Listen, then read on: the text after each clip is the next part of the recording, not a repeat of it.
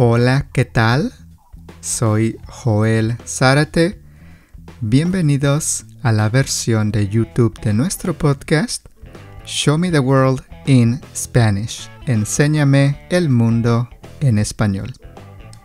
En la descripción del video pueden encontrar los enlaces, los links hacia el podcast si quieren escuchar el podcast en su iPhone, iPad, en iTunes o en Spotify, Google Podcast u otra aplicación en donde pueden escuchar podcast. Muy bien, entonces aquí está el episodio de hoy. Hola a todos, soy Mai del podcast Learn Spanish and Go y en este episodio de Enséñame el mundo en español voy a hablarles un poco sobre el guacamole mexicano. Yo creo que el guacamole es una de las primeras cosas que te vienen a la mente cuando piensas en la comida mexicana, ¿no? Y es que qué comida tan deliciosa. Y el mexicano obviamente es el mejor del mundo.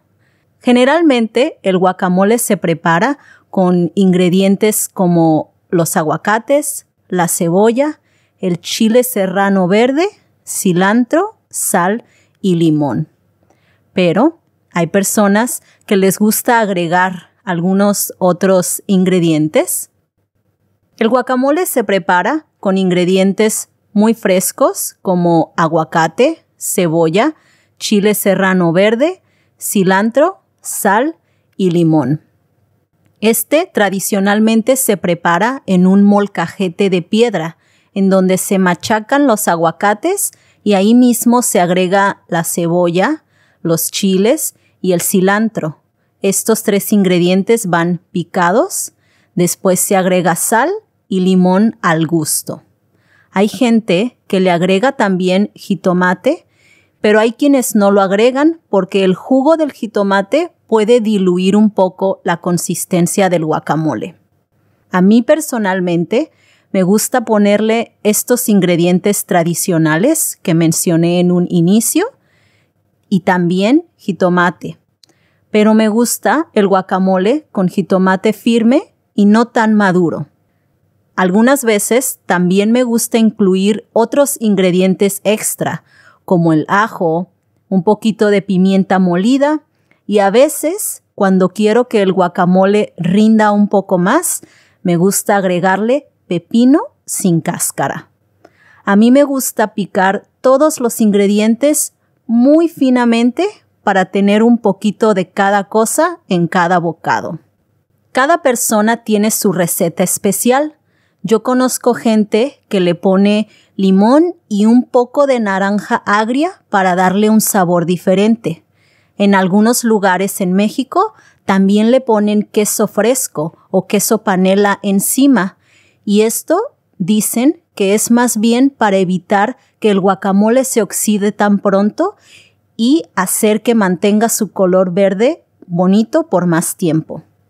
Hay quienes solo lo preparan con cebolla morada, hay quienes nunca agregan cebolla, hay personas que prefieren cilantro, otros no, algunos agregan orégano con chile o sin chile, y hay hasta quienes agregan el juguito de la lata de los chiles jalapeños en escabeche, que le agrega también muy buen sabor.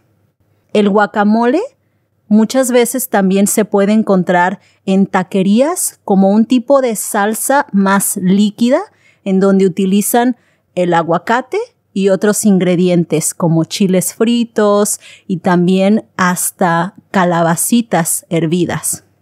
En general, en los restaurantes puedes encontrar el guacamole como una entrada o una botana que se comparte al inicio de la comida para abrir el apetito. Es muy común en casi todo tipo de restaurantes, pero no es algo que vas a encontrar mucho en los puestos de comida callejera ni en ferias porque debe ser preparado al momento. En México un guacamole en un restaurante normal, ni muy caro ni muy barato, generalmente para compartirlo entre unas cuatro personas, cuesta aproximadamente cuatro dólares. El guacamole es un platillo muy especial, pero en casa se prepara mucho sin importar la ocasión, ya que es un excelente acompañamiento para distintas comidas. Por ejemplo, lo puedes comer con todo tipo de tacos, con carnes, con mariscos, con guisados y casi cualquier tipo de antojito mexicano. Y otra cosa más que quisiera mencionar es que es muy común pedir el guacamole como una guarnición con tu comida. En México es muy tradicional comer frijoles, arroz, alguna ensalada, guacamole junto con tu comida principal, que podría ser algún corte de carne, una pieza de pollo, algún otro guisado. También cuando uno pide comida a veces para llevar, puede ser común que te manden un poquito de guacamole en un trastecito aparte, con las salsas, con los totopos o tostadas con los que tradicionalmente comemos el guacamole. Así que ya sabes, si un día visitas México, tienes que probar el guacamole. Y aquí quisiera invitarte a que nos acompañes en una semana de inmersión al español en México con nosotros. Todos los días tenemos la oportunidad de comer comida mexicana deliciosa y el guacamole es siempre parte de la mesa. Así que cuando estés en México, por allá nos vemos. Y bueno, esto es todo para este episodio sobre el guacamole en México. Si quieres saber más sobre mí, sobre mi podcast Learn Spanish and Go, en las notas del episodio puedes encontrar un enlace donde podrás escucharlo y también vamos a dejar otro enlace a nuestra página web en donde puedes encontrar todo lo que ofrecemos para ayudarte a aprender español, como videos, estos viajes grupales de inmersión al español en México y muchos otros recursos para planear tus viajes a diferentes países hispanohablantes. Muchas gracias por escuchar este episodio y los esperamos en el próximo. Hasta luego. Gracias por escuchar nuestro podcast Show Me the World in Spanish. Enséñame el mundo en español. Recuerden que en la descripción del episodio pueden encontrar los enlaces, los links hacia el podcast. Nos vemos en el próximo episodio. Hasta entonces. Adiós.